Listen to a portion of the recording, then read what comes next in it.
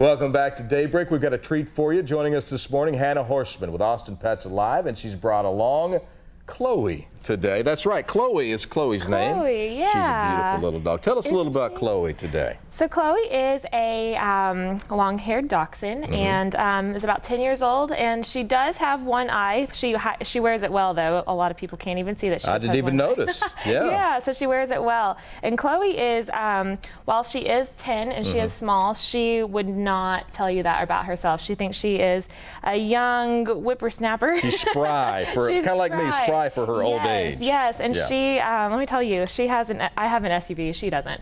Um, that would be that would be a good story if she did. Pretty legit. I have Uh-huh. an SUV, and she jumps into that car like she is a Yeah. lab.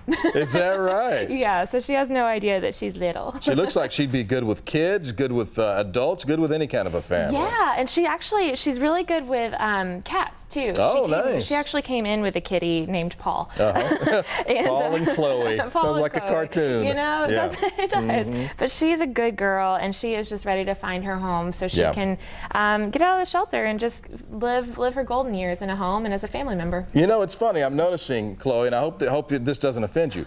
She almost has a little bit of a comb over, which is, she wears really well. you know, as a long-haired dachshund, she's got long hair, so yeah, you know, I think that you're right it. about that. I it think looks you're right really about that. cool. I like it. I think you're beautiful. She's okay, gorgeous girl. summertime. You know, people are traveling. They're going places with their family. Maybe they don't think about going to Austin Pets Alive and adopting a pet, but it's really a good time, isn't it? You get to know the pet better and have time. Yeah, yeah. You know, summertime can be a little bit slower for Mm-hmm. us, and um, um, unfortunately, slow as in sometimes um, adoptions and donations Yeah. slow down. However, it actually does not slow down for us at all. Mm-hmm. Um, we still get in plenty of animals that need our loving care, and um, so we need fosters and adopters and donors to, to support these animals. And so um, the summertime is a great time to kind of take it easy, slow down, get to know your new family member, and um, and enjoy them. And hang out with Chloe. I, I like you, Chloe. I think you're very nice. I bet think, somebody girl? out there likes you too.